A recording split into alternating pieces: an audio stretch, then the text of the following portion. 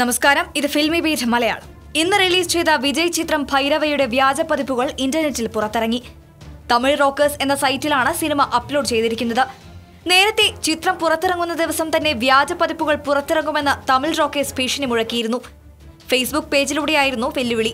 നേരത്തെ പുലിമുരുകൻ പൈറസിയിൽ തമിഴ് റോക്കേഴ്സിന്റെ കോയമ്പത്തൂരിൽ പ്രവർത്തിക്കുന്ന ഓഫീസ് റെയ്ഡ് നടത്തുകയും നാലുപേരെ പിടികൂടുകയും ചെയ്തിരുന്നു.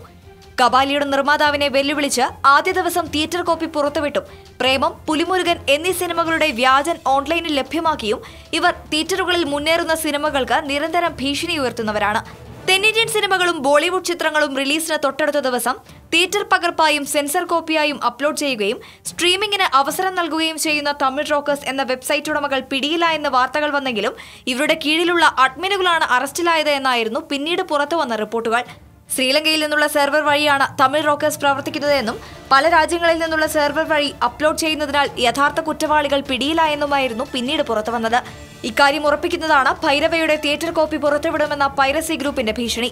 തമിഴ് റോക്കേഴ്സിന്റെ നേരത്തെയുള്ള വെബ്സൈറ്റ് പൂട്ടിച്ചെങ്കിലും പുതിയ വിലാസത്തിൽ ഇവർ പ്രവർത്തനം സജീവമാക്കിയെന്നാണ് റിപ്പോർട്ടുകൾ.